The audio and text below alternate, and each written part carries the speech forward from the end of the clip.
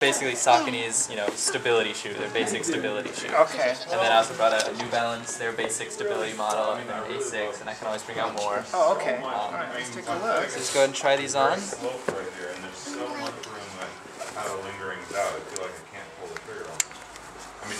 because which much of do you, do I you like appreciate what, what you're this saying, cat, this cat, this cat, and this cat? Besides this cat.